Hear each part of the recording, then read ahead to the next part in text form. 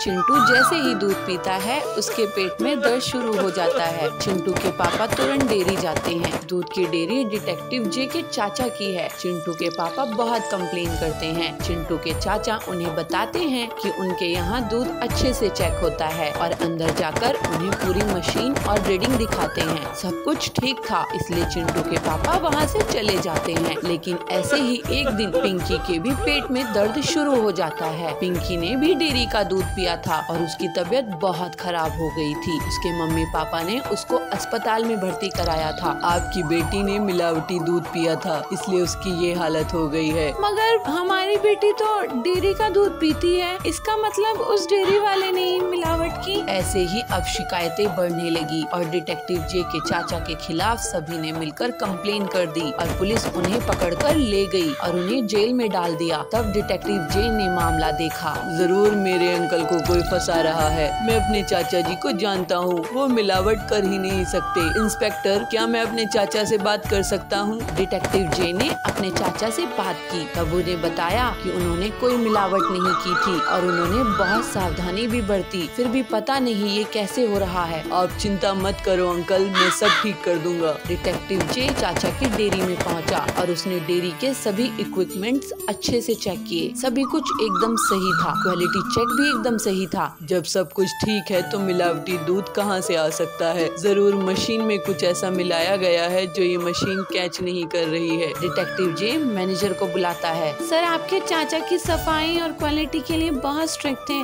ऐसा हो ही नहीं सकता। ये सारा दूध कहाँ से आता है? टोटल पाँच लोग देते हैं। मैं उनकी लिस्ट आपको अभी देता हूँ। मैनेजर डिटेक्टिव जी को लिस्ट देता है। सर हर सुबह ये पाँचों अपना अपना दूध लेकर आते हैं। ठीक है कल मैं भी आता हूँ। अगली सुबह जब वो सभी दूध लेकर पहुँचते हैं तो डिटेक्टिव जे भी वहीं पहुँच जाता है और उन सभी के दूध का सैंपल इकट्ठा करता है और उसका लैब टेस्ट करवाता है। टेस्ट रिपोर्ट में सभी कुछ सही निकलता है। तभी डिटेक्टिव जे को कुछ याद आता है। अरे कल तो चार ही लोग दूध देने आए थे जबकि मैनेजर ने बताया था कि टोटल पाँच लोग दूध देते हैं पर पांचवा कहाँ गया? लगता है वही सस्पेक्ट है। डिटेक्टिव जे अपनी कार निकालता है और उस दूधिये के घर पहुँच जाता है। तभी वो देखता है उसके आँगन में दस गाय बंधी हैं जो बहुत तंदुरुस्त हैं। डिटेक्टिव जे उस दूधिया से बात करता है। दूधिया उसे कहता है कि वो ऐसा करने की सोच ही नहीं सकता। कल उसकी तबीयत ठीक नहीं थी इसलिए वो दूध देने नहीं आ पाया था। डिटेक्टिव जे एक एक करके बाकी तीन दूधियों से भी मिलता है। वो सभी डिटेक्टिव जे को भी वही बात बताते हैं। अब एक ही दूधिया बचा है उसके पास भी चल कर देखता हूँ। डिटेक्टिव जे उस चौथे वाले दूधिये के घर के लिए निकल जाता है। तभी रास्ते में उसे एक नदी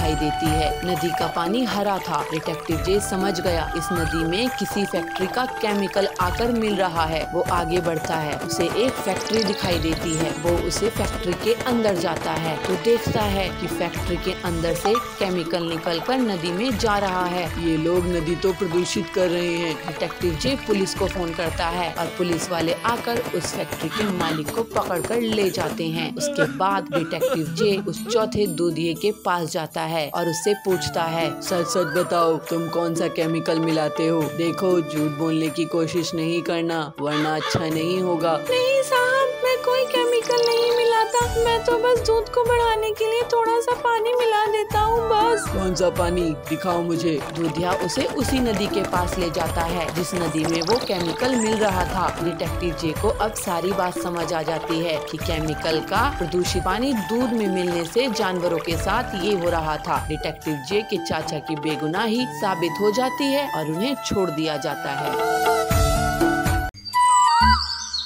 एक जंगल में एक कबूतर चूहा और एक हिरण तीन बहुत अच्छे मित्र रहते थे। जंगल में बने सरोवर में पानी पीते, फल खाते और वही सरोवर के आसपास घूमा फिरा करते थे। एक दिन जंगल में एक शिकारी शिकार करने आया। उसने हिरण को पकड़ने के लिए जाल बिछाया।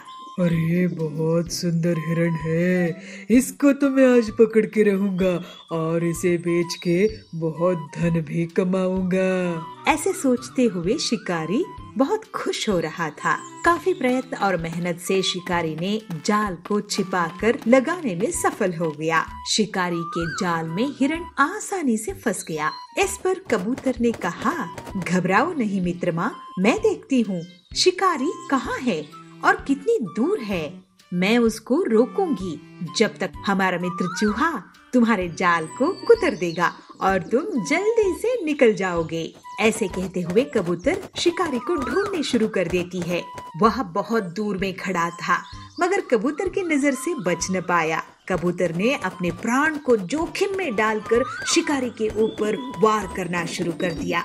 कबूतर के प्रहार से शिकारी को कुछ समझ में नहीं आया।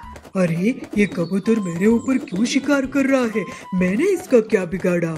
ऐसे कहते हुए वह परेशान होकर बचने के लिए जगह ढूँढने लगा। मगर कबूतर शिकारी को ज़्यादा देर तक रोक नहीं पाई।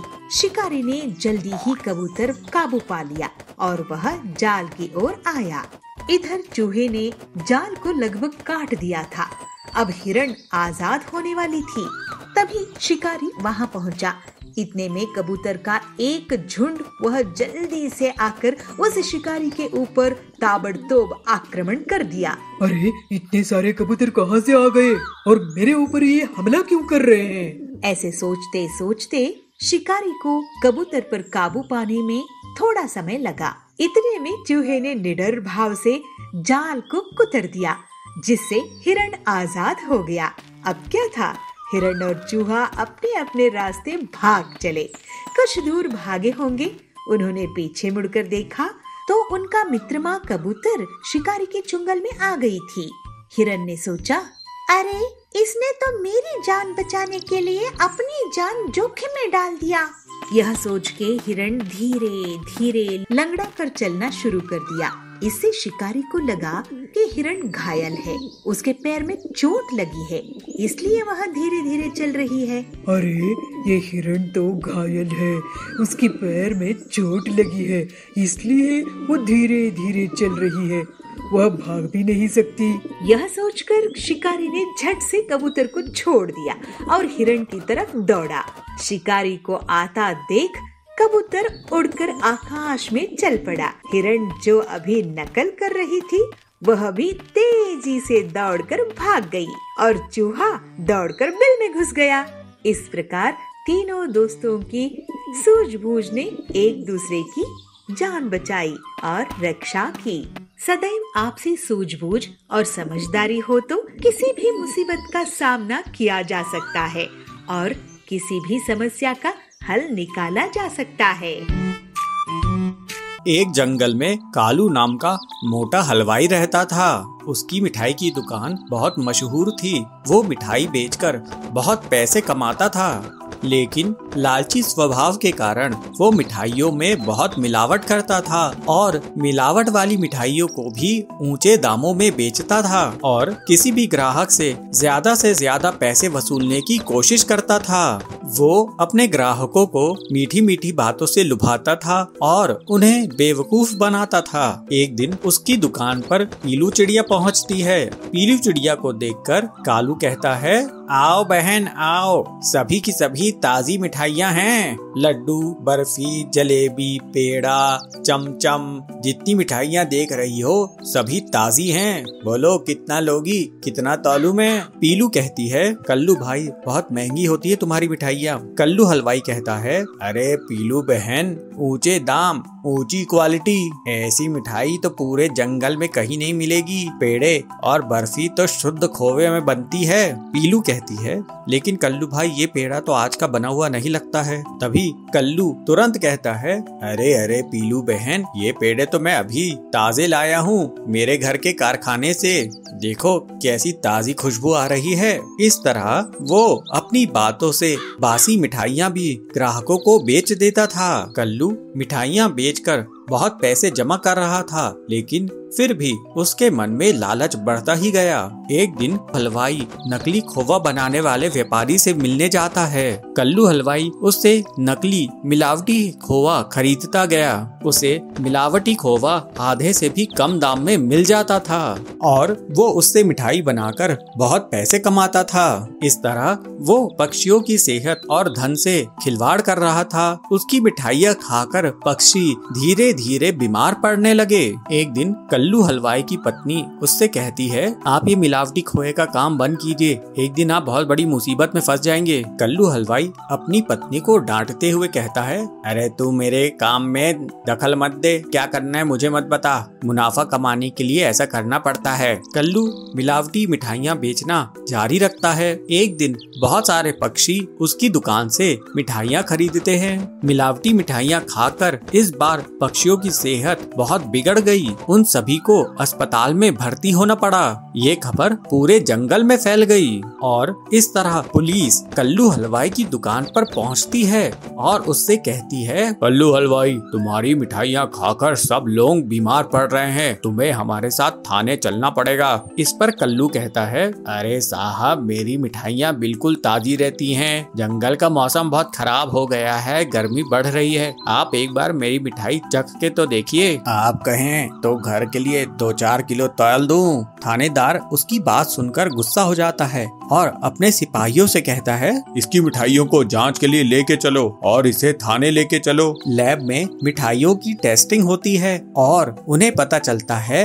कि ये नकली खोवे से बनी है। कल्लू हलवाई अब गिरफ़्तार हो जाता है और सभी पक्षियों को उसे हर जाना देना पड़ता है। कल्लू हलवाई ने जो पैसे नकली मिठाई बेचकर कमाए थे वे सब लुट जाते हैं। कल्लू हलवाई को उसकी करनी का फल मिलता है। वो अब जेल में पड़ा रहता है।